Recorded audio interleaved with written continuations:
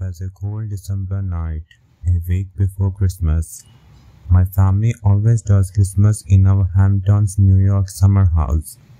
The Hamptons are always quiet this time of year, as a large chunk of the real estate there is owned by rich people who have two or three other houses elsewhere in the country. My dad and I were at the house first, before the rest of my family as my mom and sister still had to work until the next weekend.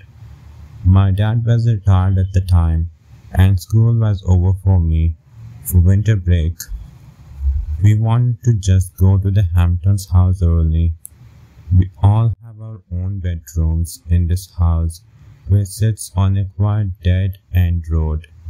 My dad turned on the heat and water and all the stuff that he always has to take care of when we returned for the first time in months.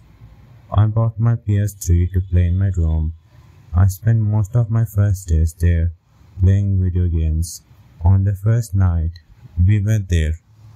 Was a big snowstorm, another reason we wanted to come early to beat the crappy road conditions that would come for days after the storm. The next morning when I woke up and went out to the kitchen, my dad asked me when I built a snowman. I responded, What do you mean? He said the snowman in the backyard. I went to look out the window, and there was at least two feet of fresh snow, but there was also a snowman sitting in our backyard. He had two sticks for arms, angled into the air, and he had eyes and a smile carved into the head. The eyes and mouth side was facing the window. I said to my dad, I didn't build that. My dad left and said must be the neighbor's kid. My dad thought it was an innocent joke. So did I. As well the next night is where things got bad though. I was in bed asleep and suddenly woke up to the distant thump on my window. I was terrified. I pulled the blankets over myself to hide, to not be in view of whoever might be out there. But after five minutes, I started to wonder maybe it was snow that fell off the roof and blew into the window. I got up to peek out the window. I screamed because at first I thought what I saw was a person, but it was actually another snowman standing right outside my window.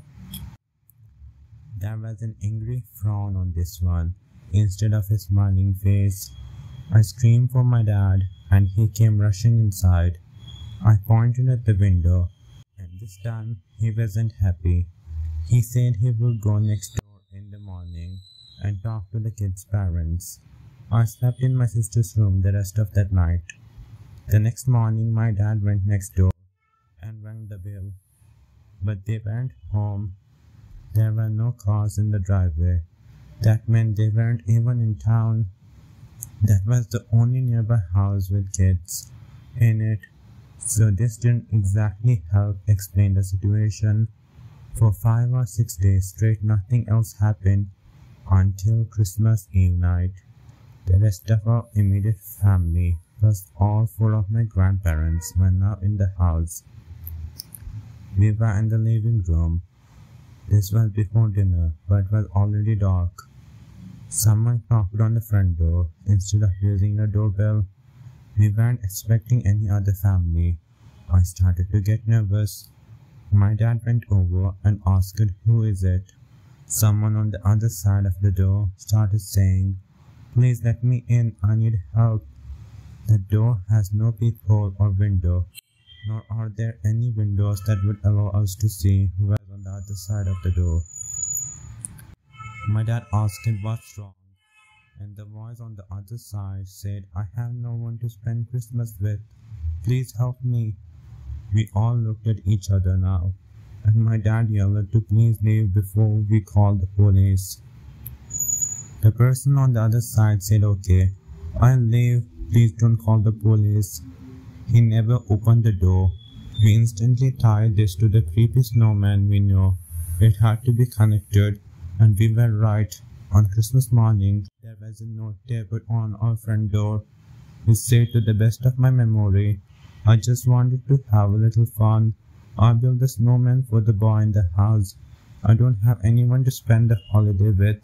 Hurt in one way or another, I think whoever left that note on our door and built those snowmen were mentally ill or unstable.